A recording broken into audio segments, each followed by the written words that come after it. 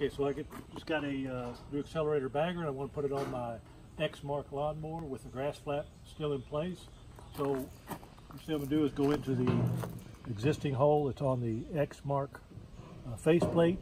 I'm going to drop my bagger on and I run into a problem. The hook for the accelerator bagger lines up with or gets in the way with the existing mount for the GrassFlap. So you can see when it's in place, basically I'm stuck with an overlap that I got to fix. So the easiest solution for this is to simply relocate this pinhole so that everything will line up.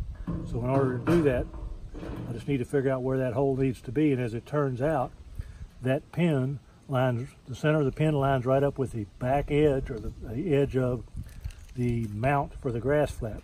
So, simple solution, we'll take and center punch a hole in line with that outside edge. Just make sure you're lined up here. Make sure you're lined up height-wise here. And you can see I've already drilled the hole, so I know it's going to work.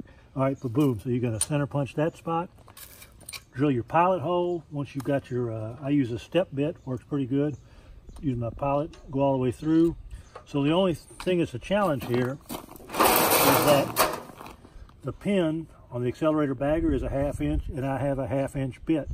Um, in the perfect world, what you do is drill a 9 16 hole, but most of us don't have a 9 16 drill bit, so we're just going to take this half inch bit, and all we got to do is once we get the hole drilled, then we just start working it around, where we can get it down, and just take your time, and you can get it off where you've got a pretty good angle on this drill bit, which matches the angle on the accelerator bagger. Once you get that done, now I've got a hole.